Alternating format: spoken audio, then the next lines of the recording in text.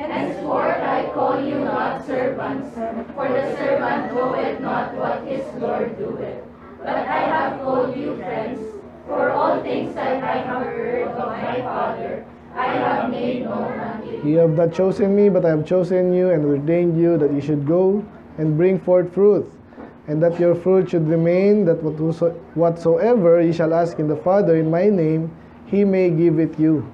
These things I command you, that ye love one another. If the world hate you, you know that it hated me before it hated you. If ye were of the world, the world would love his own. But because ye are not of the world, but I have chosen you out of the world, therefore the world hated you. Remember the word that I said unto you, the servant is not greater than his Lord. If they have persecuted me, they will also persecute you. If they have kept my saying, they will keep yours also. But all these things will they do unto you for my name's sake, because they know not him that sent me. If I had not come and spoken unto them, they had not had sin. But now they have no cloak for their sins. Sabay-sabay. He that hated me, hated my Father also. So, dyan na lang muna. Ulitin ko po yung sa verse 15. Sabi dyan, Henceforth I call you not servants, for the servant knoweth not what his Lord doeth. But I have called you friends, for all things that I have heard of my Father, I have made known unto you. Let's pray, Lord. Na salamat sa iyong salita. We pray na ang topic, message ngayong umaga, Panginoon, ay uh, maintindihan namin ang mensahe. Of course, ma-apply ito sa aming buhay, Panginoon. Pasalamat sa maraming ah, blessing niyo, Lord. Especially, Lord, sa aming mga kaibigan din. At would-be friends, Panginoon. Paano kami magkaroon ng maayos na kaibigan. Para in the ministry, Panginoon, magagamit niyo kami. Nagkatisuran nga. Ito po ay lalong papalakas sa amin, mapatibay, magiging mas productive and effective kami sa ministry. Wala po Lord, kayo malulati. In Jesus' name we pray. Amen. Amen. Ako po na po. Good morning sa lahat. Title po natin ngayong umaga is Ye are my friends. Pala yung sinabi dyan, ha? Hindi ko na. Ye are my friends. Subtitle, Quality Friends are vital in the ministry. So, relevant sa ito, ang mga bata, pati sa amin din. So, ibang ah, bagay, of course, ako personally, hindi ko na na-accomplish, kayo na lang at least. Pero may mga bagay pa rin na blessing sa akin ng Panginoon sa bagay na to. And so, meron, hinanap ko yung mga, ano, meron na akong parang ganitong sermon, pero iba naman kasi hindi naman naabutan. Amen? Jamie lang, nakakalala. Ano yun? I have called you friends, meron? Meron, hinanap. Baka hindi pa na-record nga, oh, tama. Eh, maganda may YouTube eh. But anyway, are you my friends? Sana, no? Are you friends with one another? Yun yung tanong. So kaya, again, objective natin para po ito sasabi ko na, no? Kasi po, lalo sina Joshua, biluin mo may friend pala si Joshua. Naniwala ba kayo doon? Eh, Stephen, may friends ba, Stephen? Yan. Christian. Parang wala. Dito na nagka-friend si Christian, amen? Si Pame, may friends ba si Pame? Sino? Ba't ka natawa? Sino? Sino ang best friend mo doon? Si? Francine. Nasyara na ba yun si Francine? Parang artista ang pangalan na.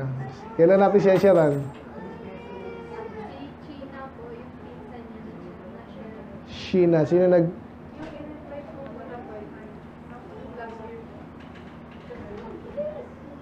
Oh, kamusta si Sheena? Hindi na alam mo dito. Ha? Hindi na ngayon. Ngayon lang naman talaga yan eh. Parang teaching namin ka. But anyway, sa atin, mas lalo, i-focus natin to kasi yun ang na-realize ko din. Nakita ko dito. Actually, pinaganda ako sa bulad ng preaching kasi nga ah, langanin ako nung isang araw. Pero okay naman ako ngayon. So, kasi trabaho ko to eh. Kaya, Ayan, salamat. So, yun ang naisip ko. Pero dahil kasi, ano yung kailangan natin? Natanong ko pa, ano kailangan natin na sa church? So, na-realize ko lang, Kailangan natin ng friends. Amen? At tunay na friends. At uh, naalala ko kasi Brother James, uh, nakumpara ko yung sarili ko sa iba. Ayun, yung medyo palad ako. Kasi yung mga napansin ako sa mga pastoran, parang walang friends na ano, lalo sa church nila. May friends sila sa labas ng church. Kaya sila sila nakikita, sila nagubulahan. Pero parang di pa rin ganun ka-close eh. Kaya, natin kaya masyadong close pag mga adult na ano natin sa buhay talagang yung ano eh, kailangan natin gawin. Pero still, kailangan ng friends. Lalo sa ministry, wag lang pilit. Amen? Doon nagiging ano yan eh. Again, balance. Iba naman, naging friends in crime. Parang ganun, partners in crime. Hindi din naman tama yung ganun. May kilala akong ganun. Hanggang ngayon, magkakasama sila. Kasi nagka, ano sila sa buhay. Ewan ko, nag-blood blood compact. Siguro alam niyo blood compact. Ay, magkakasama pa rin sila. Nag-umpisa sila ng mali. Sana ngayon okay na, ewan ko. But uh, yun ang sabi ko, marami tayong bagay na hindi kayang gawin sa sarili natin. Kailangan natin ng friends, lalo sa ministry. Amen? Kaya mag-aaral natin. So, interesting ba mga bata? Kailangan nyo ng friends. So, gusto nyo ng friends? Ito yung presyo dapat. So, bilisan ko na lang.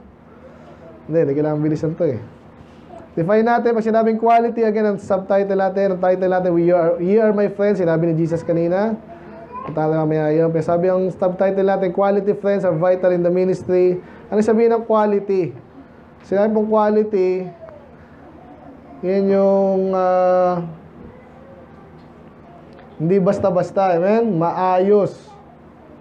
Though yung quality, ang ibig sabihin talaga yung gaano kaayos. Pero ibig, sabihin, ibig natin sabihin ng quality friends, eh, maayos na ma kaibigan, amen? Hindi yung basta kaibigan lang, masabi lang kaibigan, may kakwentuhan ka lang, yun na, kaibigan na agad.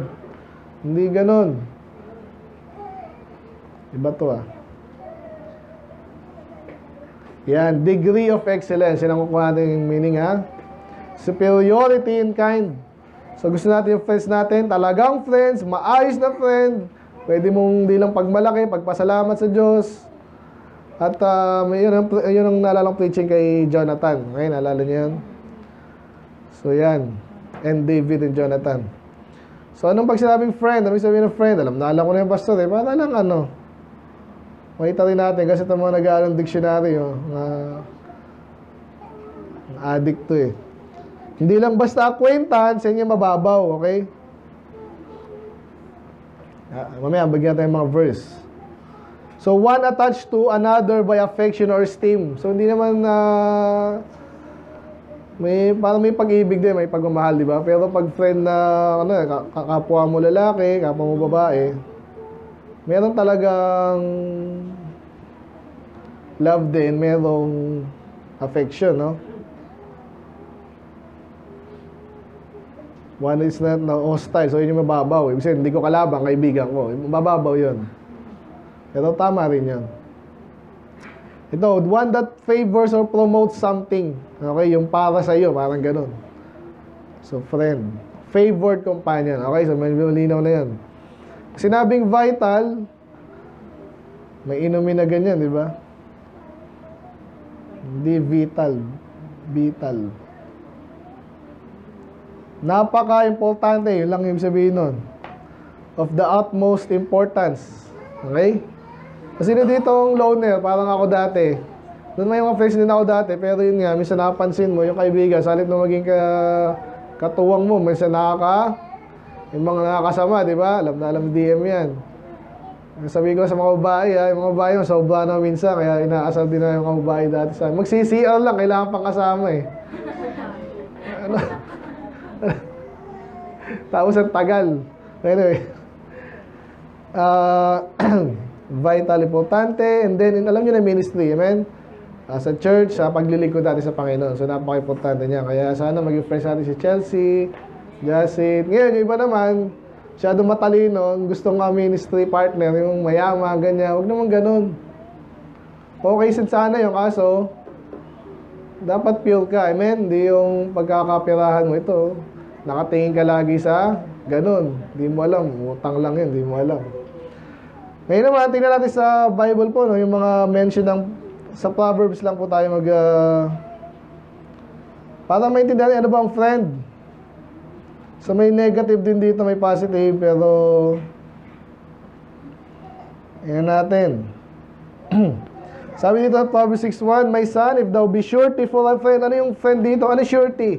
Sinisigurado mo. Minsan, actually, negative to. Natapos na namin to sa Proverbs dati. So, minsan daw, kahit kaibigan mo yan, hindi laging ano. Iba naman, ganun, kaibigan pa kita. O sige, magnakaw tayo, magkasama tayo. Hindi, hindi ganun. Pero minsan, may ganun talagang bond sa magkaibigan. Kaya sana lang sa tama. Kasi pag sinabi surety, sigurado yan. Hindi ka naman sigurado. Matatali ka dyan. Okay? Yun lang gusto ko sabihin dito. And then 6.3 naman, sabi dito,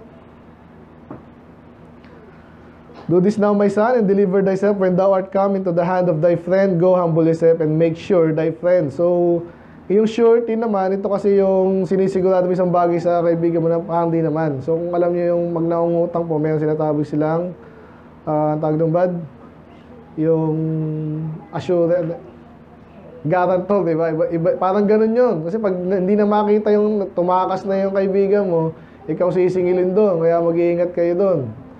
So, yun yung sinasabi sa Bible na mali. Pero yung make sure thy friend, ibig sabihin, ah siguraduhin mo or ah, tulungan mo siya or pagkaibigan ka talaga, yun ang gagawin mo. Amen? Kahit dito ha, kaya sabi ko sa inyo, pag nasa church kayo, minsan may mga hirap na ano kaya sa buhay niyo, mas maganda may friend kayo. Nga, hanapin ko si, nasa naman si Jacin, kanino ko hanapin? Sino ba friend ni Jacin? Wala. Di ang hirap nun.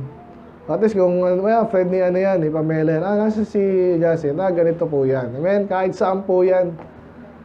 Kaya yung mga minsan hindi ka matunton, wala tumutulong sa wala kang friend, napakahirap nun. Amen? So, di mo kailangan masyadong maraming friends na peke. At least mayroong isa, dalawa. At least. Amen? Maganda na sa church, di ka mawawalan yan. Amen? Dito naman, ito medyo, ano to ah, Proverbs kasi to, kaya medyo, alam mo na, practical ba?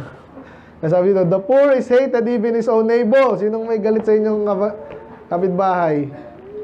Kasi daw pag ah, dito ng lalait ah, Bible to, ibig sabihin, kaya minsan, ayaw, wag mo din mahalin yung mahiging lahi kang poor, ha? Wag mo ganun. Kasi daw, pag poor ka lagi daw, ikaw yung nangihiram, ikaw yung nangihiram, sila nagbabalik, di ba? Ano?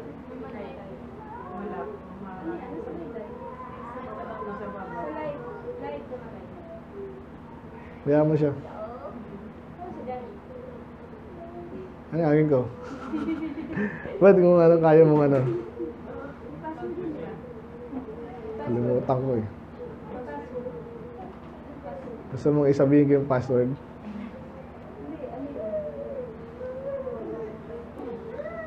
Asa na? Patay.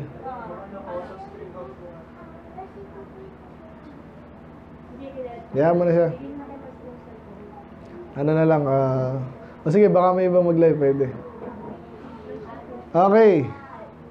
So, yun yun, ha? So, pag ikaw daw yung lagi nang hihiram, kahit sa school, di ba? Pa- pati... Pati papel, lagi ka nang hihiram. Hihiram pala, di nga hiram, hinahingi. So, minsan, kaasaran ka. So, again, ang lesson lang dyan is, huwag ka na masyadong kaibigan ka. Kaso, kaibigan mo naman ikaw eh inubliga mo naman lagi. Kaya sabi dito, pag, pag mayaman ka, ito yung positive na side. So again, ay hindi to hindi to ano ah, medyo mababaw pero still totoo. Kaya maganda, kaya huwag ka magtaka bakit yung mayaman, maraming kaibigan. Okay kasi nag-share-share sila. Amen? So ang pwede natin application dito na sakto sa atin, spiritual, maganda yung friend mo, spiritual din. Amen? Para magkakatulungan kayo sa ministry. And then, yeah, minsan kasama yung pera dyan, minsan pahiraman. Si Pastor may ganun eh. Ang hiraman nila, million eh. Sabi ko. Sana all. Anyway, next, sabi dito, "Fro- forward man, so with strife and a whisper separate chief friends. So ito naman, ang, ang lesson naman dito, sa madalas sa hindi, mga magkaibigan, di maghiwalay yan. Eh, magkaibigan nga eh. Pero ang negative, pag meron daw chismoso, chismosa, talagang sinasadyang mag paghiwalayin. Mga bagay na hindi kailangan discuss or something, o talagang makakasama, o kasinungalingan. So nakakalungkot itong tagpo na to. Pero ang friends dapat hindi maghiwalay sa chismis lang. Tanungin mo muna, totoo ba yan? Baka naman nagalit ka na, chinismis ka lang. Hindi, hindi mo nga chinik kung totoo. Yan ang friends. Ano pa? Ito maganda. Ito yung maganda. Pwede soul winning to. No? He that covereth transgression, seeketh love. Minsan pag talaga may kasalanan, minsan ayaw mo nang pag-usapan. Amen? Hindi yung makakapekto sa iba. Yung mismo yung sa inyo lang. Hindi mo kailangang ulit-ulitin. Amen? Eh sabi dyan, minsan, ko-cover mo na, hindi mo na pag-usapan. Sige, sige, ah, inutangan mo ako at medyo masama pa yung loob ko. Pero hindi na, sige, bahala na. Hindi ka na pag-usapan. Amen? Hindi tulad ni Ate Jeng Jeng. That's. But he that repeated the matter separate, ganun din, no? So, huwag mo nang ulitin. Ito yung positive din. A, friend love it at all times and a brother is born out uh, for adversity. So, nakakatulong. Pag may kaibigan ka, dapat. Amen? So, medyo perfect yan, pero masarap kung may ganyan kang friend. And then a man of understanding striketh hands and become maturity in the presence of his friends. Medyo negative po yan. Ah, ito yung mababaw na ano ng friends. So, yung iba naman napipilitan kasi friends, friends. So, friends tayo, di ba? So, ingat din tayo dyan. Then, medyo sikat na verse din about friends. A man that at friends must show himself friendly. Gusto mo ng friend, mas wala akong friends, mas to. Sino kasalanan nino yun? Sino may problema doon? Eh, lagi ka nakasimangot. Eh, kahit ako, yung kita maging friend. Kaya dahil pastor ako, kailangan kita maging friend. Ako yung friend sa'yo, tinutulungan kita. Pero, ang hirap maging friend na laging naka hindi friendly, no? Nakasimangot, palaaway, parang yung sabi ni Bad kanina. Iba ba, puro mura yung nakakita. Ganun ba sa baybay sapa? Konting ano, mura. Ang hirap ka sa, kay, kahit naman sa amin, ganun. Ayaw mo ng kaibigan, ganun eh. Sino minumura mo? Ako, hindi naman, joke lang eh. Hindi joke yun. So, gusto mo lang maraming friends, maging friendly ka. Gusto mo, hindi ka pala away, hindi ka pala ano. Kaya minsan, yung mga malakas mga asa, tansyahin mo yung ka isang tao din. Gusto nila lang gano'n, masaya sila gano'n. Pero agad, tansyado yan. Hindi mo nga kailangan yan eh. Iba, ginagamit yan pang ano eh. Sa negative way. So, pero eh, minsan kailangan ng sakyan, sakto lang. Tama lang, okay? Yung second part niya, sabi niya, and there is a friend that's taken closer than a brother. So, pasok yan sa ating tema. Minsan, kaya kailangan mo ng kaibigan. Minsan, talagang may problema ka, sasamahan ka niyan. Higit pa sa kapatid. Okay? Ito yung parang kanina lang, di ko na ulitin. Ito, medyo ganun din. Pag mayama ka, nagbibigay ka ng gifts, okay lang yun. Amen? Huwag mo lang gagamitin yung regalo para, oh, binigyan kita dati ha, huwag nang ganun. Kaya ako pa nagbibigay ng ganyan, maluwag sa akin, financially, tsaka sa ano, hindi ako yung ginagamit yun para maging friend kita. Amen? At maluwag din sa akin practically. Ibig sabihin, hindi ako bibigay ng regalo sobrang ano. Ito yung mga pastor, minsan ginagastosan natin yan kasi alam mo yan ha. Ano yan, eh, special na tao yan eh. Whether you believe it or not. Pumunta yan dito, magiging blessing. Kaya, may regalo na doon natutunan ko kay pastor yun. Hindi na ganun kailangan maging masyadong mahal. Amen? Okay, ano pa? Dami pa. Hindi na yan. Hindi na yan. Ito. So, ito na. Baliktad. Make no friendship with an angry man. So, pwede mo nga tulungan siya kung mo tulungan. Pero wag friends. Kasi pag friend, lagi kayong magkasama. Para bang ah, may ganong obligasyon eh. Pag pag puro mura yan, puro basta so, laging galit, mahahawa ka dun. So, ito, maganda rin. Faithful. Pakibasa nyo nga to. Ready? Go. Faithful are the wounds of a friend, but the kisses of an enemy are deceitful. Bilis ng oras ah. Tandaan niyo yan. Amen? Pag sinabing wounds sa friend, minsan sinasaktan ka. Uy, baho ng hininga mo. Pwede mo naman magsalita. Eh, At least ma- matuto ka para hindi ka ganyan, no? Pag minsan pag nasaktan tayo, tulad nun, at least paano ka mag improve eh? Si Pilyo lang, tam tamad-tamad ka. Ma- Mauro na lang si Pilyo ngayon ha. Sino wala si Pilyo dito? Meron ako dyan lima. Bigyan kita. Nakita ko sa Lazada, oh, oh ito ah. Pang regalo din. Maganda pa. Kaya huwag yung excuse sa panahon natin ngayon. Ako, naalala ko si Pastor, sabi kasi, sila mismo nagseshare ng sipilyo sa sobrang hirap daw nila eh. Yak! Diba? Pero pag walang-wala, ganun eh. Eh, sa panahon nila, siguro mahal pa yon. Eh, sa panahon natin, parang 20 na lang lima, parang ganun eh, sa Lazada. Hindi ka pa bibili nun. Meron, meron ganun. Amen, mga bata. Dapat yung mga ngipin nyo ngayon, di katulad namin. Amen?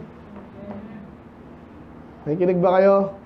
Sipagan nyo, three times a day, yan ang inaano, di ba? Toothpaste ngayon, mura na rin. Hindi nyo afford yung Colgate. Meron Pepsodent, may close up, may ano yung mura. Happy. Pagkano lang yun, parang 3 third, 1 third lang ng presyo ng Colgate yun pag di ka pa bumili. Huwag yung masyadong madamihan. Huwag gayahin sa commercial. Ako, konti lang toothpaste. Basta tsagain mo. Amen? Tatagal tayo sa toothpaste. Basta kasi ano yan. Ano, lesson talaga yan. Huwag niyong alagaan yung ngipin niyo. Pangit din. Yung pangit. Pero medyo nagsisisi kayo. Amen? So yun. So minsan sabihan niyo yung kaibigan niyo. Kaya kaya nagtatagal ako dito. Lalong totoo sa akin to. Amen? Never ko kayo sasabihin ng masakit. Gusto ko lang. Hindi ko attitude yun at lalong, dati actually attitude ko yun dati. Matagal na panahon. Pero bata pa, minsan mga bata, ang lakas mga asa, di ba? Wala lang. Pero, pag kaibigan mo yan, sabihan mo yan, masasaktan ka. ah. Pero, sabi diyan, faithful yan. Ibig sabihin, para sa'yo din yan. Amen? Balik ka nun, iba bo- binobola ka na binobola, hindi mo pala kaibigan. Gusto kang makuha na ng ano. Anyway, amen? Sayang, kaya ako, di ginagawa yan. Eh, pastor ako eh. Baka sabihin kung ano. So, hindi na yan. Hindi na yan. Yan, negative po yan. Ha? Kahit bless his friend with a loud voice. Kung gusto mo yung i-bless yung friend mo, gawin mo na lang ng maganda. Hindi yung paparinig mo pa sa iba. Amen? Ito yung another sigat, no? Basahin niyo yan sa 27.17. Ready, go. Iron sharpeneth iron, so a man sharpeneth the countenance of his friend. Ngayon, hindi na tayo masyado nag-sharpen, no? Pero may mga salasada, mga ganun din. eh. Paano... Paano tatalas? Sino man kailangan ba natin ng matalas na kutsilyo? Minsan, para, parang Japanese ano, di ba? Hindi naman ganun katalas. Pero, ang pang-sharp daw dyan, iron din. Pero minsan pwede yung bato, di ba? Pero still, may mga sharpener na iron, di ba? Yung nga ganon. So, pag wala kang friend, ano daw? Para kang mapurol. Minsan iba sa atin, kaya either yung friend mo naman, bolero din, ayaw mo na sabihan. Kapag pag, pag friend talaga, sasabihan ka niyang masakit. Kasi alam niya eh. Ako sabi sa mga anak ko minsan, ganun din ako. Bakit? Kasi ala- wala nang magsasabi sa akin, di mo mahal yung anak mo unless mga bobo yun. Normal yun, mahal mo yung anak mo, di ba? Pero kaya minsan, diretso tayo. Kasi parang mabilis. Di ba? Ang tamad mo naman dyan! Batugan para adyan kita dyan eh. Para alam niya yung sabihin, mali pala yun. Di ba? Yan ang ginagawa sa ibang tao yun kasi eh, wala tayong ano sa buhay nila eh. Pwede tayo mag-care pero hindi ganun katulad ng ating mga talagang anak, di ba? So ganun yan. Minsan, i-prefer niyo yung mga kaibigan na talagang sinasabihan kayo. Amen? Yun totoo. Lalo sa church, ganun. Ngayon, bilang pastor, hindi ko na, hindi ko pinidepensa sa sarili ko lang. Totoo talaga eh. Naintindihan ko rin kayo minsan na kasi nanggaling din ako dyan. Kaya minsan may mga member na nagtatanim ng galit sa pastor, hindi nila naintindihan. Na ginagawa lang yun, ang hirap nga mag-akay, tapos i-open ka pa. Pero kaya niya ginagawa yun para sa'yo. Amen? As in, kaya nga pa sa bisita natin, medyo naialalay tayo ng konti, pero bandang uli, ganun, din, ganun pa rin. eh. Alam mo, sabi mo, tama lahat ng religion. Eh baka nga ngayon lang a-attend yan. Oh, malaman na nila. Amen? Yun. Okay, so naintindihan niyo ng friend, ibig sabihin, sa biblical perspective, hindi po yan mahirap intindihin. So, pero, nakita natin sa binasa natin kanina, kaya maganda to, si Jesus mismo, ang Panginoong Yesus, ang sinabi niya sa mga disipulo niya, hindi sa lahat ha, Tignan naman yung mga lokong-lokong nagtutwist ng salita ng Diyos. Eh, kaya siya, si Jesus, mabait yan sa lahat eh. Ha? Hindi mo alam yung Bible. Mabait sa lahat? Mahal niya lahat? Hindi. Kaya kahapon, na gano'n rin ako. Napasok na naman yung mga bakla, as usual, di ba? Anyway, so meron tayong two parts dito. Kailangan tapusin ngayon to kasi mamaya ibang, ibang topic tayo. Dalawang main na points. Sino, number one, sino yung dapat natin maging kaibigan? Pangalawa, paano? Okay? So, sa number one, point number one, sino dapat nating maging kaibigan? Alam na natin lagi. Ano yun, Ma'am uh, Joanne? 2 Corinthians 6 ba? Be not unequally yoked together with unbelievers. For what fellowship hath darkness with light? And marami pa yon. So, hindi lang po sa mag-asawa, lalo sa mag-asawa. Pero ganun din kung may kaibigan ka. Sinong gusto mong kaibigan? Gusto ko yung mga artista. Ay, artista, pinausa lang nila yan. Kung ano yung definition nila ng pogi, sila nag-define. Tandaan nyo yan. Kaya tingnan yung mukha ko. Hindi. Hindi ako pwede artista sa panahon sa ano nila eh, definition eh. Pwede rin pala si ano, huwag na. So number one, ano sino dapat yung maging friends mo? Number one, sabi dyan, I am the true vine and my father is the husbandman. So nirelate niya kasi mananampalataya yan. Ang tanong, pareho ba tayo ng tatay? Pag hindi yan mananampalataya, hindi kayo pareho ng tatay. Walang common sa inyo, kaya mga magkakapatid, dapat ha, ila, kayo yung best friend. Kasi sa mga inano ko ito, magpipinsan, kaya natuwa ko dito eh. Magpipinsan din itong mga to. Dapat, hindi mo grupo-grupo, pero lalo kayo dapat, na, anak kayo ng Panginoon pare-pareho. Kayo, dapat matibay kayo. Naghahatakan kayo sa tama. Amen? Amen? Hindi sa mali. Ito, pamilya. Salamat sa Panginoon dyan. Amen? Christian lang mag-isa dito, pero pamilya na natin si Christian. Amen? Pame, eh, matay mo, may pinsan din yan eh. So, okay lang yan, kaya niyo yan. Ako dati, ganun din ako eh. Pero may friend kasi ako si Mamayan. Kaya ikaw dapat na. So number one, sino yung dapat nating friends? Children of God. Amen? Mga anak ng Diyos. Huwag kang magkakamali dyan. doon sa church, ang daming ganyan. Kasi doon sa amin sinasabi, meron pa rin talagang paboritong kaibigan, unbeliever. Ano nangyari? Eh, paulit-ulit yan. Nangitingin na kayo. Eh, kasi siya yung ano eh, ano kami, nagkakasundo kami sa ganyang bagay eh. Mababaw na bagay, ano yan? Sa nagkakasundo. Dito sa church, lalong dapat tayo magkasundo. Lesson niya kahit sa bahay nyo, lagi yan, magkapatid kayo, kayo mag-aaway, o sinong di nakakinig ng ganon. Ganon din sa Bible eh. Dapat close kayo kasi sino tutulong-tulungan, tayo yun. Magkakapatid eh, spiritual, tayo po yun. Kaya tingnan niyo yung mga katabi nyo. Yan, yan ang sinasabi ng lesson natin, hindi lang sa Bible yan. I am the true vine and my father is the husbandman.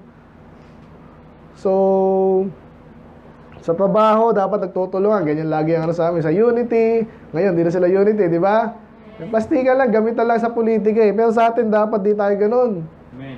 Nahihiya tayo dapat pag ah, sarili mo ngayon, talagang may pinili yung kamag-anak mo na mali. Again, sino kakapayan mo? Yung Panginoon. At yung mga, ano, ganun po yan. Kahit minsan magkakamag-anak, wala eh. Kasi yung band, hindi na-establish, hindi maganda rin. Pero sa atin dito, wala, wala, wala na tayong tataas na konsiderasyon pa kung pare-pare tayo anak ng Diyos. Amen? Hindi ko natagalan yan ha. Medyo common yan. Pero gusto ko pa rin bigyan din. Kasi nga, may mga ganun kahit sa amin dati ganun eh. Ewan ko ba? Sa akin sasabihin, ba't di mo sa kanya sabihin? Ay, mga Kristiyano, minsan ganyan ang mga Kristiyano eh. Ha? Baka sa'yo lang. Parang iba rin, mga Pilipino, ganyan eh. Lahat? Iwasan niyo po yung gano'n ha. Lalo pag sa church, wala kasi makitang ano dito, tindi ng standard mo, taas naman. Wala akong makitang ano. Ikaw na yung maging kaibigan, para sabi kanina, amen? Gusto mo maging kaibigan, ikaw yung friendly, ang laki ng choice mo, ang laki ng chance, I mean, na marami ka maging kaibigan, amen? Amen. Number two, sino pa yung madawa ng kaibigan? Sabi dyan sa verse 10. Sorry ha, sorry, sorry, may mali ako. Pero tama rin yung verse 1. Sa number 1, ganun din kasi. Sabi sa number 9, As the Father hath loved me, so have I loved you. So, ang point lang, Father, yung common natin sa mga manampalataya. Number 10, verse 10. Number 2, sa, sa who. Sino yung mga dapat nating kaibigan? Sabi ng Panginoong Yesus, If you keep my commandment, you shall abide in my love. So may mga tao na mga Kristiyano, pag ikaw hindi ka lang basta anak ng Diyos, ginagawa mo, inaalam mo, yung ano, ano mga, saan nga ba nakita sa Bible na in Noah's Ark? Sa Proverbs po. Hindi mo alam yung Bible. So sino yung magandang kaibigan, maayos na kaibigan, dapat mo maging kaibigan. Again, di, huwag mo namang boldyakin yung iba. Pero ano yung dapat mong talagang gusto mo maging kaibigan? Yung mga sumusunod. Very good. Faithful Christians, number one. Children of God, number two. Faithful. Hanapin mo yung faithful dyan, yun ang kaibiganin mo. Hindi yung mga... Nasaan yung... Nasaan si ano? Si Noah, nasa Daniel. Layo. Amen? Kasi pag nagkwento kayo, di kayo magkwentuhan, eh mamaya nag-agree pala, pareho kayong mali. So maganda na, faithful Christians. Okay, medyo obvious na yun, amen? Eh, basta naalangan ako sa kanya kasi baka masyado siyang magaling eh. Kaya nga kaibiganin mo eh. Tingnan mo kahit yung mga payo sa business people, sabi nila, nakakita ka ng matalinong tao, huwag mong kaibiganin, ah, huwag mong kalabanin kaibiganin mo, eh, masyado mabobo ko eh. Hindi, kaya nga maging matalino ka. Marami namang klase ng maging matalino. Kaya sabi doon, totoo po yun. Ginagawa nila, ang hinaha, hanggat maaari, hinahar nila matalino. Ganyan po yan. Huwag kayong hire ng bobo. Ito lang kaya ng budget ko eh. Hindi, palitin mo yung ano. Ibigyan ko talaga ng tip eh. Anyway, yun po yung totoo. Amen? Si Pastor, ganun nila niya sabi noon. Sabi niya, ang kaibigan niya, sabi niya, hindi ako masyado matalino, pero kaibigan niya, lahat matalino. Yung sabi sa Bible, ano mangyayari? The multitude of counselor, there is safety. Pag yung mga kaibigan mo, o yung mga lagi mo naririnig, matatalino, magagaya ka doon. Amen? Amen. Nakikinig? Rapi? Sino mga barkada dito? Rain? Amen. Yun yung mga maraming dito sa labas. Lahat naman tayo pero never nyo magpapalit yung anak ng Diyos tsaka yung mga faithful. Amen. Eh paano kung faithful pastor, faithful lang sa atin? Ayun nga, eh minsan wala tayong choice minsan. Alam nga namang lahat ng friends mo dito sa church, parang Paul and Peter, ang tin, gano'ng katindi, ang Barnabas. Eh, at least kabagayo yung ano. Wala naman lahat ganun. Parang mo, lu- lumalakad sa ulap. Wala naman ganun eh. So at least targetin mo yung mga at least faithful. Amen? Amen. Number three. Makibasa niyo sa 11. Ready, go. These things have I spoken unto you, that my joy might remain in you, and that your joy might be full. Again, ha, katulad ng madalas nating style, ha, hindi, hindi ko sinabi itong verse na to, ito yung exactly sinasabi. Kumukuha lang tayo ng mga points dahil ah, talagang applicable yan. Amen? Sa maraming bagay, ganun kalalim kasi ang salita ng Diyos. Eh. But anyway, ano lang pa si sa 11? Sino yung gusto mong kaibigan? Yung kinakasaran mo ba? Obviously, may kalayaan naman tayong pumili ng kung sa, sino nagbibigay sa atin ng kasiyahan. Amen? Amen. Intindihan ko naman yung kahit yung mga anak ko minsan sabi nila, dito lang sila. Eh, may church naman eh. Okay? so, pwedeng, ah, yun nga, yun ang ah, kailangan i-watch din natin dito. Hindi ibig sabihin joy na yan. Basta yung kaibigan ko loko-loko, yun ang doon ako masaya eh. Hindi ka naman naman. Obviously, ah, piliin mo yung yung ah, yun nga, hanggat maaari, again, ito yung ano ng salita ng Diyos, anak ng Diyos, faithful, and then, within those group na faithful, pwede kang mamili yung medyo kaanuhan mo, kasundo mo. Amen? Yun na, doon malaya ka naman doon eh. Yan, tignan mo nga rin kung ano yung nagbibigay sa iyo joy. Kung puro anime yan, okay lang yun to some degree, di ba? Walang problema. Yung games yan, sige, ma, binigyan mo lang ng ng ano, huwag yung puro ganyan. Naintindihan niyo ba? Puro babae naman ang usapan. Sakto lang, di ba? Ganun yun eh, di ba? Lalaki ka, babae pag-usapan nyo. Pero hindi naman puro ganun, yung lagi na lang ganun. So, kaya watch out natin yan. Kaya number three gives joy to the Lord and you. Amen. Ito mo yun. Kaya kami kami bad. So, kami ni bad kasi, nagkasama lang kami niya sa ano. Then, uh, ano ko nga siya, professor ko dati. Di, siya umakay sa akin. So, pero, ayun. So, nakakompliment ko naman yun. Amen? Sa ibang bagay. So, tiyagaan tayo. Hindi, hindi lahat ng ina-expect mo sa ibang tao, makukuha mo. Amen? Kaya nga maging kaibigan ka sa kanya. Hindi ko na ako tagal nandun ha. Gives joy. Sino papa, yung pipiliin mo? Anak ng Diyos? Faithful? Hanggat maaari? Anong level of faithfulness? Na at least pwede mong tawagin faithful? Yung ma-attend. Hindi yung backslide. Ito yung ano, kakaibiganin ko siya basta para maakay ka. Siguraduhin mo na siya yung maakay mo sa church. Hindi ikaw yung maakay niya sa mall. Okay? Amen? Desiree. Okay. Nalala ko. Inaalala ko eh. Number four. This is my commandment that you love one another. Medyo obvious to, no? Pag sa friend, may love. Pero alam natin, yung iba, kunwaring love lang, tsaka plastic. Ano sabi rin dito, These things I command you that you love. Paulit-ulit. Lalo sa first John, di ba? Ito, John 15. Eh. Pero ganun din. Sino dapat mong sumasabay dyan? Parang bubuyog eh. Okay. Sino pa yung dapat natin maging friends? Number four, yung talagang may tunay na pag-ibig. Amen? Paano malaman nyo kasi makikita mo na ako na, ginagamit ka lang. Di ba? Tapos hindi mo na napagbigyan. Ako, eh, mag-isip-isip ka rin. Amen? Tandaan niyo yan, ha? Kaya sabi yung isang church daw dyan sa, kasi galing kami doon nung Friday eh. Eh, ang kwento nung, sino ba nagkwento nun? Basta, yung Koreano church daw dyan, eh, dyan kami umatin eh. Hindi ko na lang natanong, pero natanong na rin natin yun, di ba? Hindi, kasi putik-putik na eh. Ibig sabihin, hindi madalas may service. Yung pala doon, pag may event lang doon, saka lang nagpupunta yung mga tao. Hindi church yun. Ano yun? Donation area yun. Amen? Yung pagpapalit yung tunay na church sa ganun-ganun. Doon iba nakakaawa rin yung mga iba kasi minsan ganun. Kasi nga, yung utak mo kasi ganun na rin. Sabi nga yung pastor dito, mga utak mahirap. Amen? Masakit ba yon?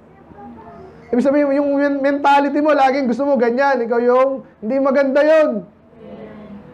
Hindi ka makakahon doon. Pag lagi kang gano'n, eh, ultimo pati spiritual, gano'n ka rin. Dito ako nag-church kasi lagi may tulong eh. Paano nagpaparinig ka pa? Tutulungan din kita, maligtas, una. Minsan may konti rin ganyan, pero wag mong mapamukha sa akin yan. Dahil hindi yun ang kaibigan na tunay. Amen? May tunay na pag-ibig. At pag may pag-ibig ka, unahin yung importante sa iyo, kaligtasan. At ganitong support na ganito, hindi yung nag-uutuan kayo. Ganyan po yung mga komunista tsaka yung mga politiko. Eh. Politiko, yan ang perfect combination ng maisira yung bansa. Eh. Alam niyo yun? Politikong mambobola, tsaka yung mga mamamayan na lagi nakaganyan. Ang dami na sinira niyan. Hindi tayo magiging ganyan dito. Amen? Kaya na pag-usapan tuloy yung swimming, mamaya ako na i-announce. Pero swimming, parang gusto ko pa rin talaga private kung talagang meron. Amen? Kung wala, wala. Anong gusto. Pero hindi ang priority. Amen? Okay, number five. Hanggang nine lang po to. Ito, importante. Sino yung gusto ko maging kaibigan at dapat yung kaibigan at yung pipiliin yung kaibigan. Bukod sinasabi ko kanina, hindi manggagamit lang, totoong nagmamahal. Ito sinabi dito, paibasa niya sa 13. Ready, go. Greater love hath no man than this, that a man lay down his life for his friend. So, okay, kung at least nausundan niyo po yung ano, si Jesus po yan, nag-pray siya actually dyan. Okay? At nag-instruct at the same time. So, 14 hanggang 17 po yan, eh, pula yan lahat sa red letter edition. So, pero sabi niya dito, obviously siya yung pinapay, pinapahiwatig niya, siya yun. Kung meron tayo dapat kaibigan, si Jesus yun. Amen? Kaya din pinapaalala yan eh. Parang kahapon, yun ang tanong ko, challenge ko sa kanila, sabi ko, sige, saan kayo mag-church? Dito po ako talaga, ano, naligtas ba kayo dyan? Hindi.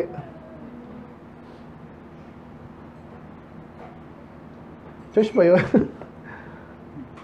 Ang tagal mo doon, di ka na-save. Baka iba interest nung ano doon, pastor doon. Baka hindi niya alam. So, ang kaibigan ka talaga, pinakaibigan si Jesus eh. Kahit masakit magsalita. Alam niyo naman salita ng Panginoon minsan, di ba, sa mga disipulo.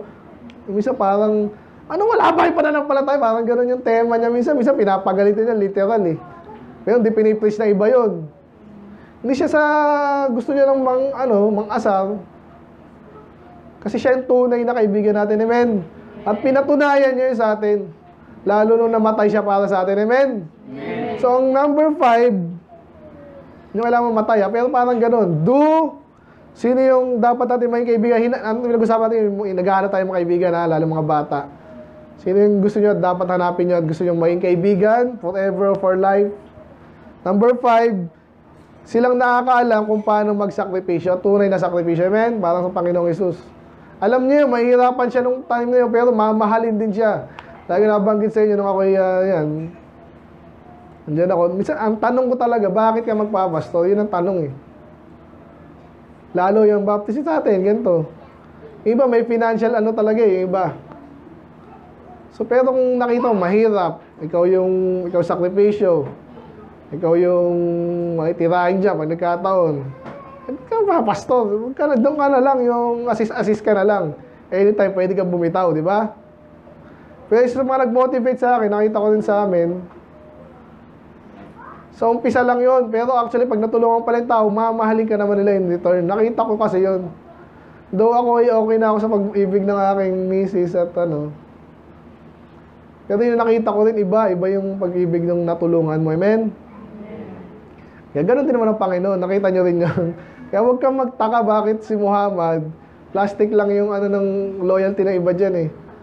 Culture, ano na nila yan eh. Pero yung nag, tunay na nagmamahal sa Panginoong Yesus, nakita nyo ba kung anong sakripisyo na ginawa nila? Iba. Hindi pwedeng mapeke yun. Mga apostol. So yun, kaya balik tayo sa mga friends. Sino yung hahanapin yung friend? Hindi ko na nga nalagay pala dito kung saan eh, no? Kaya sabihin ko na sa inyo, sa church yung makikita yan. At actually, hindi sa ano, pero ay, lagi ko na sinasabi sa inyo, di ba, pag anniversary. Kaya malaki utang na loob ko kay Pastor dito. Kasi nga, doon ko mismo nakita yung aking love of my life, di ba? Hinanda na siya doon. Sang ka pa. Di ba? So, ganun ginagawa ko sa inyo ngayon. Le, hindi ko hindi ako maghahanap ng pag-ibig sa inyo na regalo niyo ako ng kotse. Gawin nyo lang po yung dapat nyong gawin. Amen?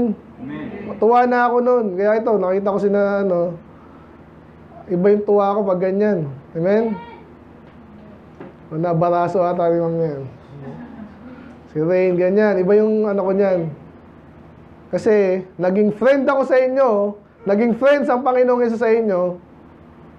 Sana maging friend din tayo. Hindi, hindi naman automat, ano, hindi naman kailangan, di ba? Sa umpisa, hindi kailangan ibigay mo lahat sa kanya. Yung iba ganun eh. Later na lang yun. Nasa iyo naman yun. Pero yun ang dapat. Amen? Yun ang gusto ko makita dito. Sabi ng Panginoon, wala nang titindi pa dito sa pag-ibig na to na ikaw mamamatay para sa kaibigan mo. At ganoon ang Panginoon. Amen? Amen. Pastor, ikaw, mamamatay ka ba para sa akin? Mga hold up ako. Bahala ka dyan. Obviously, maling application yun. Amen? So ano pa? Ang another point dito sa 14, sabi dyan, Ye are my friends if, ito na, if you do whatsoever I command you. So hindi po madali yon. Amen? Ano yung sabihin ng, ano yung pahiwatig ng whatsoever dyan? Okay? Ano yung sabihin nun? Hindi na may mili ka lang. Kaibigan kita pag pag ah, happenings. Yan. Kaibigan kita pag meron ka. Okay? Inuman tayo, ganyan. Hindi tayo ganun, ha? Kaibigan kita pag papakopin mo ako. Hindi ganun. Ang totoong kaibigan, yun na, nagsasakripisyo, pero hindi yung ayaw na kita kasi ganyan. Eh. Pag mga ganun parinig, naku, babaw ng tao yun. Huwag mo na kaibiganin yun. Kung matalino ka, amen? Amen. Natagalan, number, doon pa rin, no? sa number 5, knows how to do sacrifice kasi hindi siya yung umaayaw sa'yo dahil wala lang. Sabihin, whatsoever, sabihin, talagang kaibigan kita kahit anong mangyari. Especially pag tama, amen? And then, sa 18 to 21, medyo mahaba.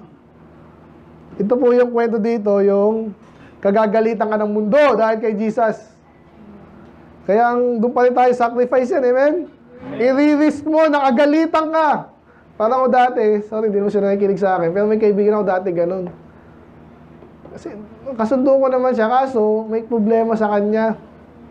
Inaasal siya nung classmate ko kasi may something wrong sa kanya eh. Hindi ko na sabihin kung ano. Hindi, sabihin ko na rin kasi hindi mo siya nakikinig sigurado dito. Basta may, may sakit siya. Amen? Kaya kinukwento sa akin, sinasabihin ako, Uy, kaibigan mo ba yan? Oh? Meron siyang ganyan, no? Eh, kaso friend ko talaga, hindi ko siya kinahiya. Pero hindi ko rin, inano. Intindihan niyo ba yun? Maganda yung ganong kaibigan, eh. Mababaw na dahilan, aayawan mo.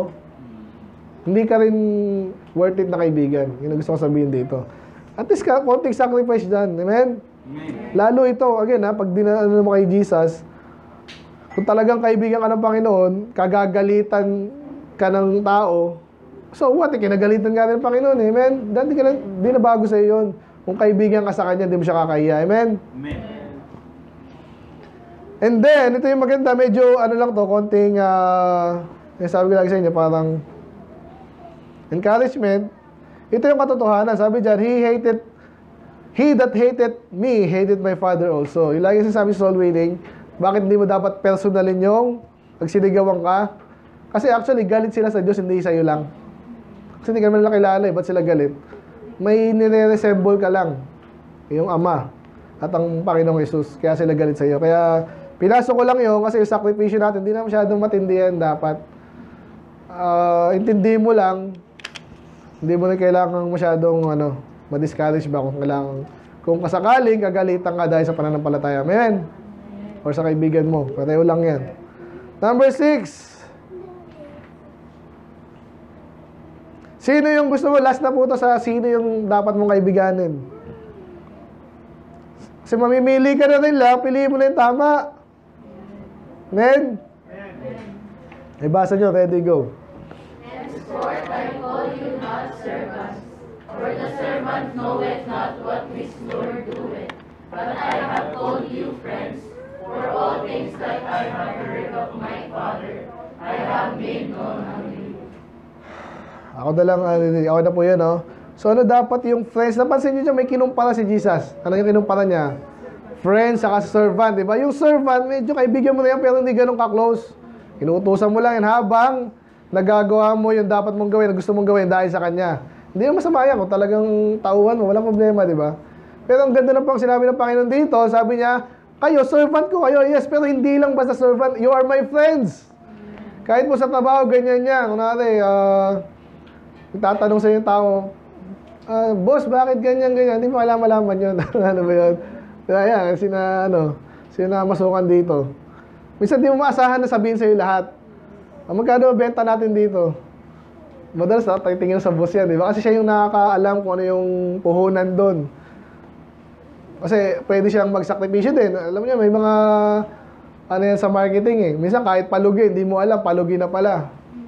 Pero bahala siya doon kasi alam niya yung diskarte. So ngayon, yung iba hindi sinasabi yan kasi gusto niya siya yung mausunod, which is okay lang din again minsan.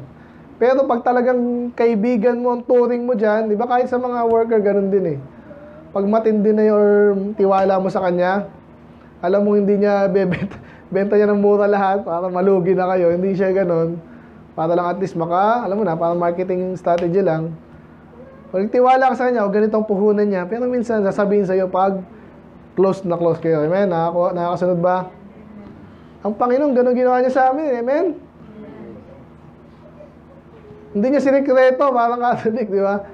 Catholic, dahil mong di mo alam dun, sunod ka lang. Sa atin, hindi ganun. Yung lahat ng mystery nga, pinaalam niya na eh. Kung kaya mo lang saluhin, ha? Obviously, hindi sinabi sa'yo lahat, hindi mo lang kaya intindihin. Hindi ka naman tapat mo siya, hindi ka nag-aaral. Alam nga naman bigay niya sa iyo yung karunungan na yun. Obviously, yung mga karapat-dapat ka at kaya mong dalhin. Amen? At parang 2 Timothy 2, to, ano yun? Sabi doon, ah, these things I uh, entrust also to yun sa discipleship yun eh.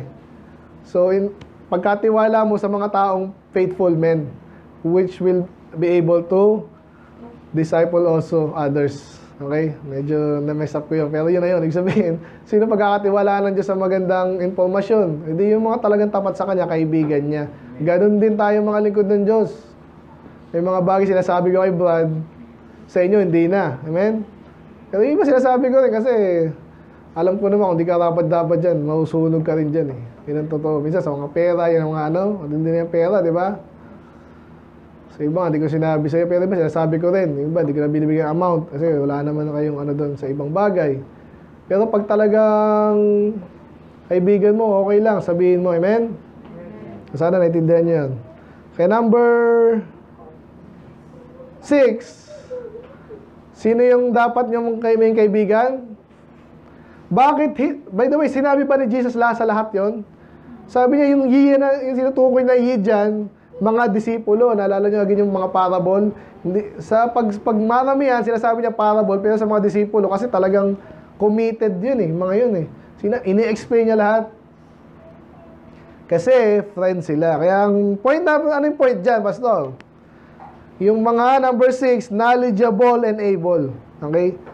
Naintindi, kaya nila sineshare sa kanya at friends tayo. At kung gusto niyong friends, yung mga alam din nila, again, parang kanina, faithful, children of God. Ba't kung magiging kaibigan yung hindi anak ng Diyos, di niya intindihan ikaw? Ba- bakit yung ginagawa yan? Hindi ko maintindihan. Gusto mo kaibigan mo yun? Eh baka may makuha ko sa kanya. Yun dyan ka nagkakamali. Okay?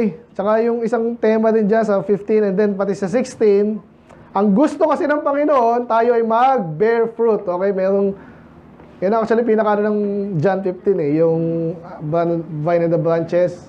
Sikat yan, lagi ginagamit yan sa preaching. Kung gusto mo magbunga. So, ganun sa friendship naman tayo, isang aspeto lang ng John 15. Gusto mo ng kaibigan. Saan ka dadalhin yan? Saan ka tutulungan? Pag naging kaibigan mo siya, ano ma-accomplish mo? Kung wala, eh, sandali. Hindi naman yung sabihin ma, ano eh, long term kasi pinag-usapan natin dito. Sino yung mag establish ka ng friendship para long term, mag, may kinabang ka rin. Hindi sa selfish way, ha? Yung may kinabang ka, yung bunga mo, magiging maayos, katanggap-tanggap sa Diyos. Sino nga? Bukod sa anak ng Diyos, faithful, bibigay sa'yo ng joy, of course, na gusto mo, masaya ka, amen? Kaya masaya ako pag itong mga nag-fellowship, pinabayaan ko lang. Kasi ba't magaling din magpataway? Ako hindi eh. Nakatawa lang, nakatawa lang ako sa kanila. Di ba? Sige, fellowship lang kayo. Kaya ganun minsan ang ano ko eh. Kaya minsan kahit gagmastos ka, at least magkasama-sama sila. Amen? Kaya swimming na, sige, tuloy na yan. Dahil doon. Biglang ano eh, no? Pero dapat alam niya yung ginagawa natin. Ba't natin ginagawa yan? Eh, yung iba dyan, kukontra. So, ba't ganyan naman tayo? Sunduin pa natin. Sakakain pa natin, mapakainin pa natin. Ibang church, wala namang ganyan eh. Pero iba alam na nila, eh, sinabi ko na eh. Minsan kailangan malaya, parang kahapon, medyo tanghali na kami kasi may sinira na naman. eh. Di ba, gutom na gutom na, at may pagkain, hindi tayo, sabihin tayo magulang na ano. Kaya, kaya maintindihan yung ginagawa natin lahat, may dahilan lahat yan. Ganon sa, sa ministry. Kung gusto mo may, may kaibigan, yung alam mo na interesado rin sa gawain ng Diyos, hindi yung walang yung hate pa yung gawain ng Diyos. Men, kalabang pa ng Diyos. So, malapit tayo matapos, pero gusto ko sabihin sa, sa point na yon. Ngayon, hindi ko lang sinabing ay, kat, la- lahat ng Catholic, eh, huwag natin kaibigan. Again, hindi ko sinabing huwag kaibigan na hindi natin kakausapin. Huwag na, hindi ganon. Yung, yung sinasabi ko, yung maging close mo dapat, yung nagpaplano kayo, nagtitiwala kayo sa bawat isa, siguraduhin mo anak ng Diyos. Amen. And then, better yet, kunwari, may kaibigan ka naman sa ibang church. Eh, sa ibang church yun eh. Okay din yun, pero sino yung mas dapat kaibigan mo? Yung mas madalas nakakasalamuha, yung church sa Amerika, mga ganun. Failing ka naman. By the way, yan, sinakinapan, naalala ko si Lenlen kasi nag-like sa isang friend. Paano naging friend ni Lenlen yun? Wala problema doon, di ba? Kasi friend-friend lang sa Facebook yun eh. Pero baka naman mas friend ka pa doon. Kaysa kay, ano, sino nag-invite? Ikaw siya. Mga Amerikano, di mo na malala. Okay lang yan, walang problema. Diyan ako marami akong friend na ganyan eh. Kasi nga, ang gusto kong lumalabas sa feed ko, hindi ka bastusan, di ba? At least may mga, so may pag nagbabasa ng Bible, ang daming ano ba, di makikita ko. Kasi nagbabasa ng Bible eh. Bigla na lang may magandang point doon. Yung ano, tama, amen. Hindi kasulad ng mga Yan, amen? Amen. Ikaw nga ba yun? Ikaw yun eh. Tinignan ko eh.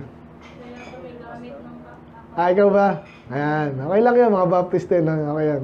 Pero, huwag kang masyadong friend-friend sa Amerikanong Baptist. Tapos dito, hindi ka friend. Ano yung feeling ka nun? Okay, tapusin na natin. Number six, ah, knowledgeable and able to do the work of the Lord. Kasi sinabi doon, oh, For I have made known unto you. Alam niya. So kung anak siya ng Diyos at tapat din siya, alam niya rin yung gawain, ang gandang friend niya. Amen? Amen. So, pasok ko na sa work, ganun din mo sa work eh. Ano pa siya sa trabaho, ganun yan. Ang hinahanap nila, ano ba ginagawa natin dito? Marunong tayo, nag-ano tayo, nagluluto tayo. So, ba natin, walang kaalam-alam. So, laging ganun yan. Yung alam din, may pag-ibig din sa ganito. Yan yan. Mga teacher, ganun yan. Ang usapan lagi yan, mga bata, mga bata. Ganun yun. Yung isa, kaya lang ang teacher, wala akong ibang mapasukan eh. May, kaibigan si ma'am, ganun, ganun. Okay lang din niya kasi, pero badang alis din yan. So, hindi kayo magiging seryosong friends. Yun ang gusto ko sabihin doon. Anyway, meron pa tayong tatlong points. How naman? Okay, kung ito yung mga klase ng kaibigan natin dapat, anak ng Diyos, faithful, uh, nagbibigay ng kasiyahan, and marunong mag-sacrifice, at ginagawa yon at knowledgeable sa ministry, eh paano nga tayo? Magkakaroon ng... Dito na, mga bata. Stephen, sinong walang friends dito? Christian. May mga ganun ako dati, ganun din ako medyo eh. Sino pa? Joshua. Okay, friend si Joshua. Dadali niya mamaya. Sana all. Oh, paano nga? Oh, na, tatlo lang tong tatlong points lang. Una, number one, be saved. Kasi nga, number one, dapat children of God. Ikaw mismo maging maligtas ka muna. Amen? Baka may hindi paligtas dito, tapos papangarapin mo yung anim na binang... Hindi, maligtas ka muna and then, abide in the Lord sa verse 1 and to 5. Ito yung sikat dito sa John 15. Sabi diyan, the true vine. Basahin ko, importante kasi ito eh. Dinidescribe ni Jesus, siya yung true vine. So may ibang false vine. Ibig sabihin, mga, parang mga churches din na. Church din naman eh. Sabi ni Jesus, siya yung true vine. And, the, and my father is the husbandman. So siya yung nag-aalaga, yung ama. Siya yung farmer. Every branch that in me that beareth not fruit, he taketh away. And every branch he beareth fruit, he purgeth it, that it may bring much more fruit. So ako, totoo sa buhay ko to kasi nga nagtanim ako eh. Ang galing pala ng mga halaman, dapat tinuputol-putulan mo. Pag hindi mo pinutulan, hindi siya ma-encourage siya mag-branch out. Okay, mga plantita, plantito dito. Totoo yun. Pero prinsipyo yun sa Bible eh. Kaya minsan, dapat sinasabihan ka rin, oh, ang baho ng iningin mo, eh, nabagit ko kanina. Ganon yung tunay na kaibigan. Ganon ang ama. Minsan bibigyan ka ng problema. Minsan sasaktan ka. May, yung likod na ako sa Diyos, pumutulong pa ako ng kuryente. Yung mga ganon ba? Ganon talaga minsan. Amen. Eh, buti nga kayo, pinutulan lang sila, dinakawan eh. Ako naman, problema ko, dahil ko binabayaran ng kuryente. Pati internet, ano, ilito na ako, ah, hindi na basic to ah. Okay lang, tuloy lang, eh, man. Ang hirap na mawala ng kuryente sa JJX, di ba? Anyway, yon so ganun ang ama. So be saved and aba, ito na isa, tapusin lang natin, maganda to eh. So kaya kami sa sinasaktan ng Diyos para lalo kang magbunga. Hindi, talo na tayo dito. Alam mo na yung papakanta mo ba mamaya? Alam mo na? Sabi dyan, abide in me. So manatili ka, amen? Eh, basta ang hirap sa church. Lagi na lang, pambira. Sabi nga, sino sabi nga si Brad. Bakasyon na, soul winning pa rin. Sunday, dalawang beses. May Thursday pa. May Sabado pa. Puro Bible. Nakaka, nakakatamad naman. Kaya ang hirap naman dyan, basta sa inyo, pwede ba doon na lang kami? Sa iba, once a week lang. O ganun ka, ano ka rin. Tsaka sila, hindi sila nag-a-abide kasi. Kaya lang naman pinipilit natin itong madalas kasi alam ko nakikita ko yung kailangan nyo eh. Sa- Sa diet nga, may Friday pa sila eh. O, addict naman to eh. Gusto nila eh. Kasi pahinga na nga yun, di ba? Kaysa nang gumimik ka, eh wala namang gumigimik dito. Pag may gumigimik dito, magkakaroon din tayo ng Friday. Kasi manatili ka sa Panginoon, amen? Doon ka magkakaroon ng maayos na friends. Kasi nakakita ka ba naman ng halaman na nakahiwalay? Tapos, ay gusto kong maging friend, yung ano, yung grapes. Eh naputol ka na, humiwalay ka pa. Parang mga halaman ganyan minsan eh. Branch-branch yan eh. Pinuputol ko yun, yung malayo. Kasi alam ka naman, sabog yung halaman ko. Pangit naman. Iba naman, napakataas. Ito, hindi ko pinapataas masyado kasi pangit tingnan eh. O ganun tayo minsan pag nagmamataas ka, putulin ka ngayon. Kaya gusto ko sabihin, number one, be safe and abide in the Lord. Diyan ka magkakaroon ng kaibigan. Eh, wala akong friends sa church eh. Ilang taong ka na ba sa church? Tat- tatlong buwan pa lang. Eh, ganun talaga. Unless napaka-friendly mo. Pero pag lagi kayo makikita dyan, halos magkapalit na kayo ng mukha, parang si DM tsaka si Christian, hindi pwedeng di magiging friends yan. Amen? Amen. Ganun yung abide in the Lord. Kasi, in another sub-point po, sa- malapit na po tayo, sorry, medyo napatagal. Gutom na rin po ako, pero verse 9, ang sabi po dyan ay, As the Father hath loved me, so I have loved you, continue in my love. Pag sinabing abide in the Lord, yung pag-ibig ng Diyos, amen? Ibig sabihin, lagi kang umaasa sa pag-ibig ng Diyos, yun ang iniisip mo, hindi yung pag-ibig na sa libutan. Amen? Then pangalawa, ito yung mas maganda pang point, no? Saan ka mag-a-abide? Saan, Peter? Saan ka mag-a-abide? Pag sinabi abide, manatili. Saan ka mag-a-abide? Basahin mo. Lakas. Spoken unto you.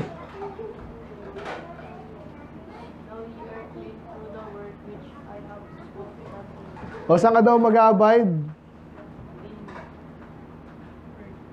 Diyan lang sa verse. Saan ka dapat mag-abide? Pag sinabi abide, manatili.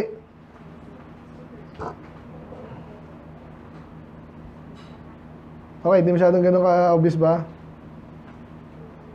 So manatili ka sa, bukod sa love, sa sa word. No, na narinig mo ba? Ano siya mag, mag-abide sa word? Nagbabasa ka. Kakabisado ka. Eh, Bible na naman eh. Abide! Parang halaman, nandito na lang ako. Gusto ko dun eh. Mabuti kung ano ka, buto ka na, alam mo na yung mga pores, di ba? Isang halaman ko dyan kung saan-saan tumutubo eh. Kasi ang style niya, pumuputok siya. Yung pinainom na kaya na serpentina, ganun yun eh. Minsan mo, napupunta dyan, ba't nagkaroon ng ganun? Kasi pumuputok yun eh.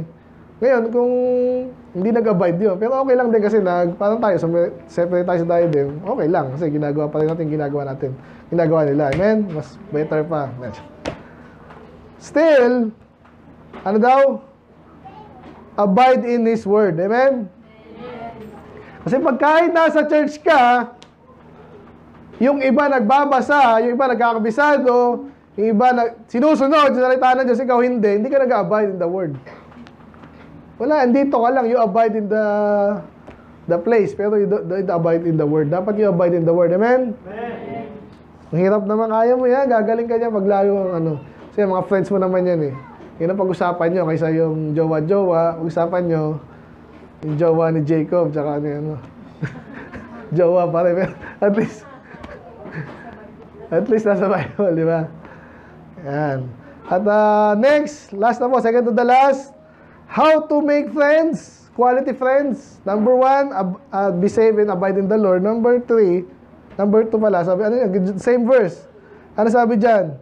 Paano ka magkaka, magkakaroon ng maayos na kaibigan, eh, bolero ka pa, manloloko ka, di ba? Hindi ganoon. Dapat number two, be clean. So pag ikaw ay laging Bible, ma- malinis ka. Sabihin, tapat kang kaibigan, hindi ikaw yung bastos, di ba? Hindi kayo manloloko. And number two, be clean and pure. Yun ang gusto sabihin. Be clean, pure. Be a true friend to whoever, the Lord gives you an opportunity to be. Huwag yun namimili ka ng itsura, gusto ko matangos.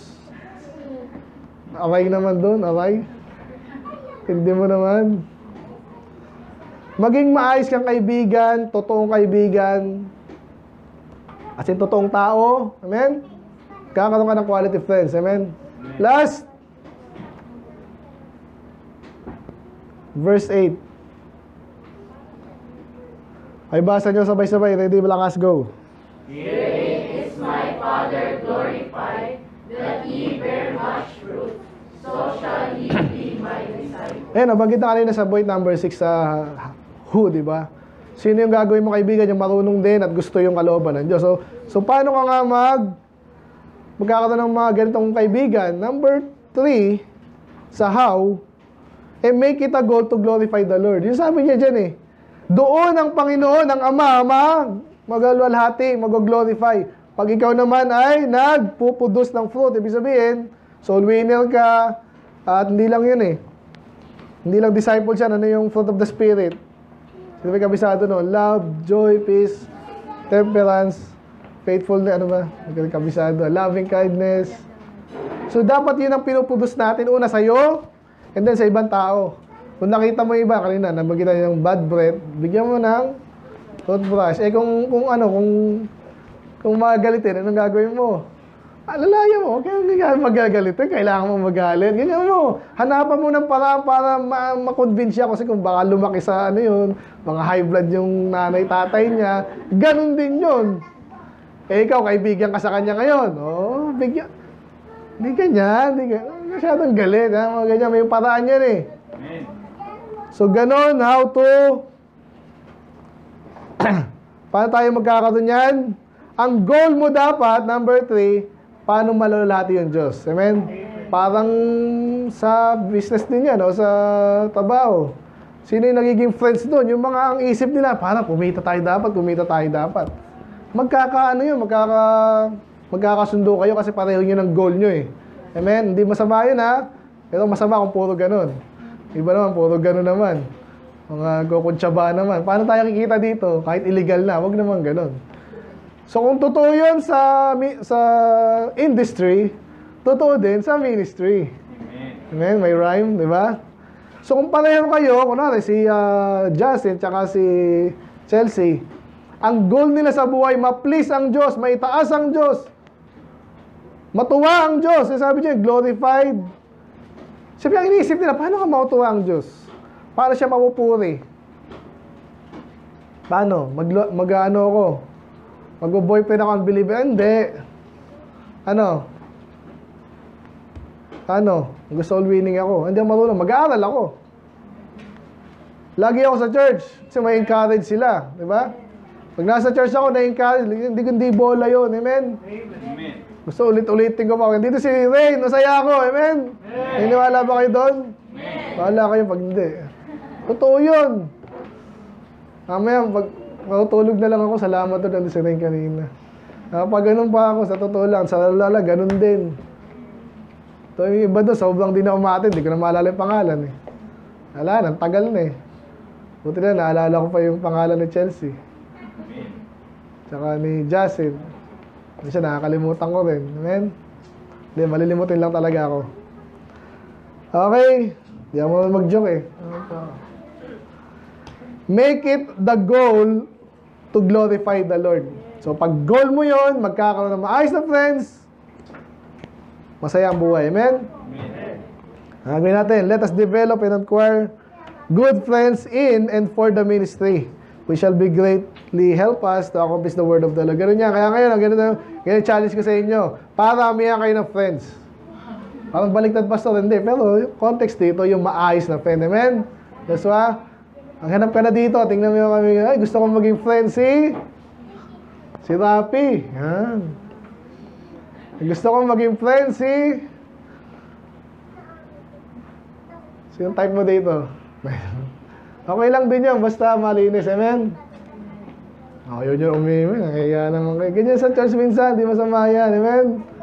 Huwag lang yung garapal, ha?